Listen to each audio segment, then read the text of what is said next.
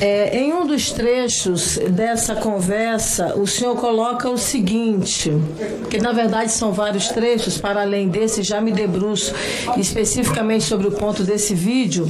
O senhor diz o seguinte: ele tem que dar a ordem, irmão, não tem como não ser cumprida. Mais adiante, o senhor diz: de modo próprio, o Exército Brasileiro nada vai fazer porque será visto como golpe.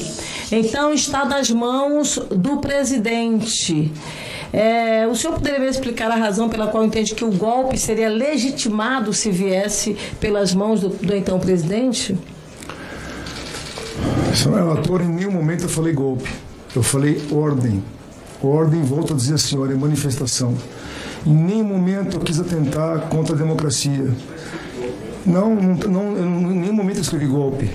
Em nenhum momento escrevi golpe. A mensagem que está escrita golpe não é minha, foi recebida. Não está aqui, ela está na página 30. Eu estou aqui com a, a, documentação da Polícia Federal. Em nenhum tá momento eu falei golpe, general. senadora. Em nenhum momento eu falei golpe.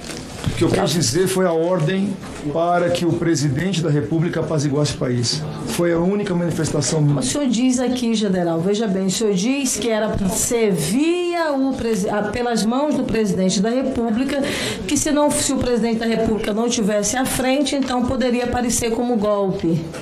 Ou seja, se o presidente da República tomasse uma medida, seria legitimado. Eu quero que o senhor me explique qual a lógica disso.